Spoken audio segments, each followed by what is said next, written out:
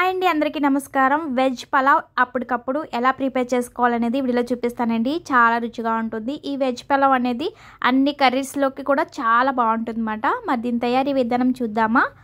First అయితే మనము stove వెలిగించుకొని బాండి పెట్టుకొని తగినంత ఆయిల్ వేసుకొని పలావ్ దినుసులు టేస్ట్ చెప్పిన మీ దగ్గర ఏవైతే ఉన్నాయో అవన్నీ కూడా వేసుకోవాలి. అలాగే ఒక ఉల్లిపాయ సన్నంగా కట్ చేసుకుని వేసుకోండి. రెండు మూడు పచ్చిమిరపకాయలు కూడా వేసుకోవాలి.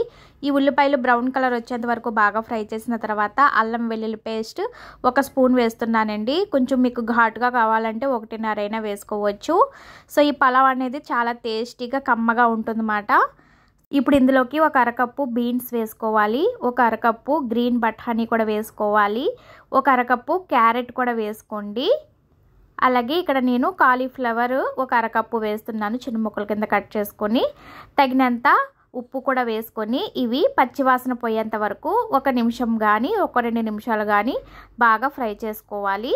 ఈ విధంగా బాగా ఫ్రై చేసిన తర్వాత ఒక కప్పు రైస్ని నేను నానపెట్టుకున్నానండి. ఒక అరగంట సేపు రైస్ వేసుకోవాలి. అంటే ఒక గ్లాస్ రైస్ తీసుకున్నాను.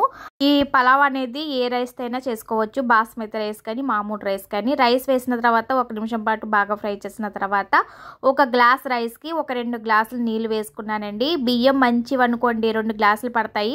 బియ్యం కొంచెం తక్కువ రకం అనుకోండి గ్లాసున్నర వేసుకోండి.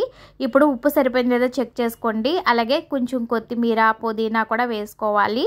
సో ఈ విధంగా బాగా కలిపేసుకొని మూత పెట్టి ఉడికించుకోవాలి. సో చూడండి ఎంతో రుచిగా ఉండే వెజ్ పలావ్ రెడీ అయిపోయింది. చాలా బాగుంటుంది తెలుసా? ఈ విధంగా తినేయచ్చు.